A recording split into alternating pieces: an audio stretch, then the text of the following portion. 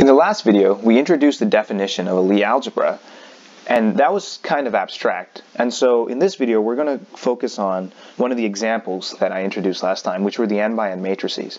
In particular, the n by n matrices and any of their subalgebras are referred to as the linear Lie algebras. And so the reason we look at this is twofold. First of all, uh, historically, this is what kind of motivated the study of Lie algebras. And second of all, it's a concrete example that everyone's familiar with, that we can really understand what's going on. And what actually turns out uh, is that the in the for any finite dimensional Lie algebra can actually be identified with some linear Lie algebra. So really, if you're clever about it, uh, studying the the linear Lie algebras is actually sufficient. And this is actually much harder to prove, so I won't justify that. However, in the semi-simple case, um, which is what we kind of devote a lot of our study to, and I'll introduce all these terms later on again, but it's really clear that um, any any semi-simple Lie algebra can be identified with a, a linear Lie algebra. That that's a much much easier proof. And so to begin, I'll actually introduce the formal terms here. And so let V be a vector space over a field F. End V is the set of all linear transformations from V into V. Now that should be familiar, and recall that End V is also a vector space by its own, in its own right over F. And so we can make End V a Lie algebra by defining the bracket of any two endomorphisms x and y to be x composed with y minus y composed with x, where, once again, this is composition of linear maps. And so when End V is endowed with this bracket, we call it the general linear algebra. And so any subalgebra of the general linear algebra is called a um, linear Lie algebra. And so it would be wise to make sure that we satisfy axioms. And so bilinearity is pretty much immediately obvious from uh, this definition. If you just plug in ax plus z and bracket with y, you'll see it works out. And so I'll leave that to the viewer. And alternativity is pretty obvious as well. x bracket x is clearly x times x minus x times x, which is 0. And the Jacobi identity is a little less obvious, but if you just simply take this definition and then expand this thing out, you'll see that it's equal to 0. And so I'm not personally a big fan of doing explicit computations in the video um, because I think it, it's a little bit, it can actually be a little bit boring. But I do, I think it's very important that the, the viewer carry them out. And so we, we satisfy these three axioms, and so it is indeed a Lie algebra. Um, and so we'll be using, uh, we'll be looking at GL of V a lot. Early on, however, it's nice to identify V with the basis and really look at GL of V in terms of matrices, right? We can think of linear transformations as matrices once we fix a basis for the uh, vector space we're working with. And so if V has finite dimension n, we can identify um, GL of V with something called GL of n comma f. And so these are just equivalent ways of describing the same thing. Um, and instead of uh, composition of linear maps, we use matrix multiplication, but it's the same brackets. And so um, GL of n comma f is a little bit easier to work with because we, we work with matrices, it's less abstract. And so that's what we'll kind of focus on for the rest of this video. And so to begin, we'll just uh, kind of just slowly develop GL n comma f. So we know it's a vector space because End V is a vector space, and, and you know the matrices, n by n matrices form a ring and a vector space and so on. And so um, let's just find a basis for this thing first. And so this this is really easy to do because any n by n matrix, right, is just this grid of n squared entries, right? So this is n by n. And each of these entries are completely independent from each other in the sense that if I change one of these entries, I get a new matrix. And so what that tells us is that if you want to fix a basis for this thing, we just have to um, consider the following set of matrices. So I'm going to write it out first, and I'll explain what it means. So GL of n comma f is equal to the span of the E sub ij where 1 is less than or equal to i, comma j is less than or equal to n. And so the E sub ij refers to the matrix that has 0 everywhere except in the ith row and the jth column entry. So it only has 1, 1, and every uh, everything else is 0. And so I hope it's immediately obvious that there are n squared of these things, one for each entry in the matrix. And if you want, say, A in this spot here, then you just need the term A times E sub 1, 1, where A is some scalar. So this is this is a basis. And this is a basis that's that's not only very obvious and, and ends up becoming the canonical choice, but it's a nice basis to work with because it's very compatible with the um, the bracket operation that we've imposed upon our endomorphism, um, our matrix ring, that is. And so let's take a look at that.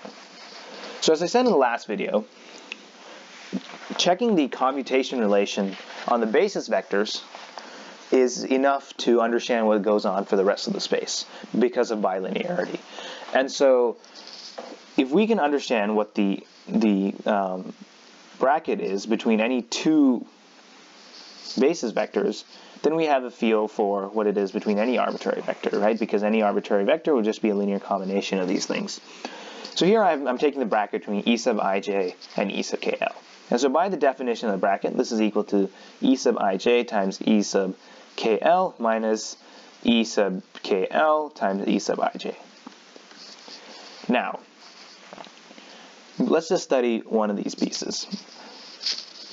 E sub ij times E sub kl, if you work out the computation, is it, what ends up happening is that if the insides match, if j equals k, then you get E sub il. So you collapse the insides and you just get il. And if they're not equal, then you just get zero. So to compactify this, uh, we use something called the Kronecker delta, which is which is simply describes this. It's just a, it's j equals k, then it's 1, and 0 if j is not equal to k. So it's delta sub jk times e sub il. And so similarly, we can do for it for the other terms. So we realize this becomes as delta sub jk e sub il minus, now look at the inside, so delta sub li, and then uh, compare, collapse them, so you get e sub kj. And so this is very nice. This is straightforward, and and and at most one of these one of these terms will survive. Um, and so this this ends up being kind of the reason for a lot of cool phenomena that that can be visualized through GL of n comma f. So that's a basis, and this is our kind of the bracket relation. And so those are like the two very fundamental things of Lie algebra that we kind of know of so far. And so with that being said, after a brief remark, we can look at um, the subalgebras of this thing, which are known as linear Lie algebras.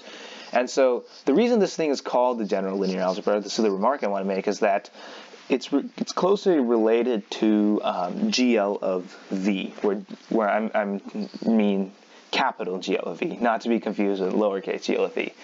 Um, and so this is equal to the general linear group, and this is uh, all invertible, uh, all invertible um, endomorphisms over V that send V into V. And so the the when you study Lie groups, the uh, general linear algebra kind of is a companion to the general linear group. Um, and so I'll just leave that remark at that, and we'll, we'll go on to the next next thing.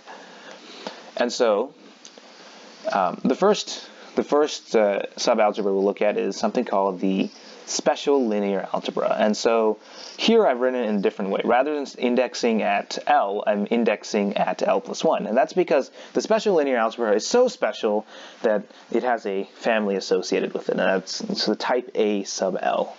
And so the special linear algebra of L plus 1 corresponds to A sub L. And so you might be wondering, well, what exactly is this thing? And so rather than writing L plus 1 over and over again, I'll just use the notation of n from earlier, but we can obviously substitute L plus 1 as we need. So SL n comma f is equal to all matrices x in GL of n comma f, which we just looked at, such that the trace of x is equal to 0. Now, you might be wondering, well, what if we pick a different basis for to represent GL of V uh, as GL of n comma f? And the great thing is that the trace is invariant under choice of basis. So this is actually well defined. And so equivalently, we have SL of V is equal to x element GL of V such that the trace of x is equal to zero. So certainly this is a subspace of GL of n comma f. There's no doubt about that. But we have to check is it a Lie algebra? And so recall from the last video we had the subalgebra criterion. And the subalgebra criterion told us that uh, a subalgebra K is a subalgebra if you bracket anything um, inside K, you end up back in K. So, so the only criterion we need to check is that if you bracket two matrices that have trace 0, does their bracket have 0 trace? Um, and what's really interesting is that it doesn't even matter what... Um, uh, it, it, so let me verbalize this appropriately. So let's just take two elements of SL, n comma f. So their trace so if, if you want the, their commutator to be an element of SL n comma f, then the trace of this thing has to be zero. So the trace of x bracket y is equal to trace xy minus yx equal to trace of xy minus trace of yx.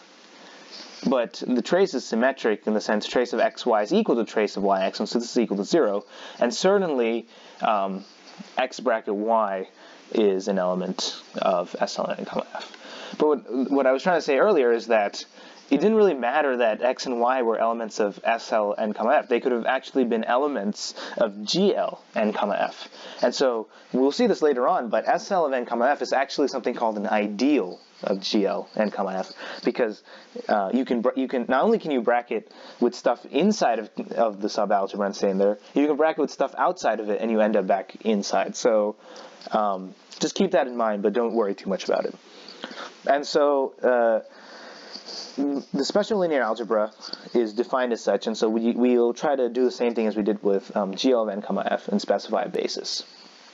So the first thing we want to look at is just, let's just consider, say, the 3 by 3 matrices, right? So we have something that looks like this.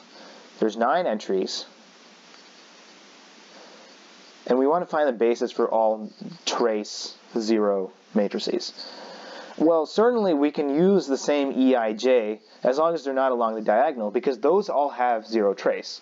So we can certainly use E sub ij where 1 is less than or equal to i not equal to j less than or equal to n. Because these things will all have zero trace. And so we can, we can, this is all independent, these elements are all independent of each other and it doesn't really matter what we put in there. The problem is along the diagonal, right? If I specify this element and this element, then this element becomes fixed. And so what we realize is that we actually can specify any n minus 1 of the n diagonal elements, and then the last one will be whatever we need so that the trace is 0. So a nice choice for this are the, are the matrices E sub i i minus e sub i plus 1, comma, i plus 1, or 1 less than or equal to i less than or equal to n plus n minus 1. And so an example of such a matrix in, in the 3 by 3 case would be this matrix, 1 minus 1, 0, where everything else is implicitly 0. Another example would be um, 1 minus 1, like that. So these two span kind of the diagonal of um, the special linear algebra. And so collectively here, we have our basis, and there's n squared um, minus 1 totally. Because it's n squared minus n plus n minus 1, and so that becomes n squared minus 1. And so um, the dimension of SL n comma f is equal to n squared minus 1. Um, and so this is just the n equals 3 case that I use to generalize to um, any, any finite n. And so the, special linear algebra will play a crucial role in all things to come. And one of the, the most important cases is the family A1. So that is SL2F, right? If L is equal to 1, then that corresponds to SL2F.